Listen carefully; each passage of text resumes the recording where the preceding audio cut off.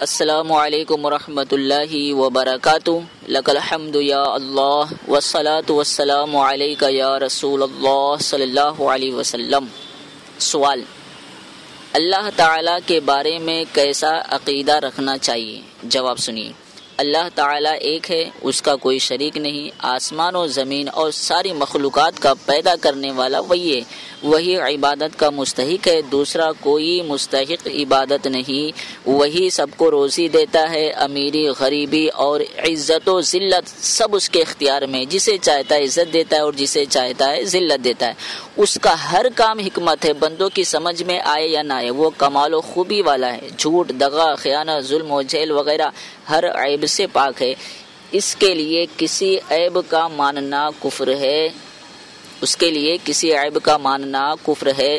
لہٰذا جو یہ عقیدہ رکھے کہ خدا جھوٹ بول سکتا ہے، وہ گمراہ و بد مذہب ہے۔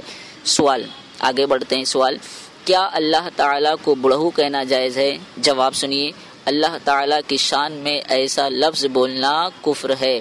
سوال، بعض لوگ کہتے ہیں اوپر والا جیسا چاہے گا ویسا ہوگا اور کہتے ہیں اوپر اللہ ہے، نیچے تم ہو۔ ہے نا؟ اس طرح کہتے ہیں۔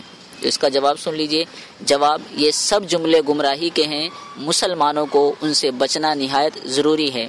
سوال، اللہ تعالیٰ کو اللہ میاں کہنا چاہیے یا نہیں؟ اللہ تعالیٰ کو اللہ میاں کہنا چاہیے یا نہیں؟ جواب، اللہ میاں نہیں کہنا چاہیے کہ منع ہے۔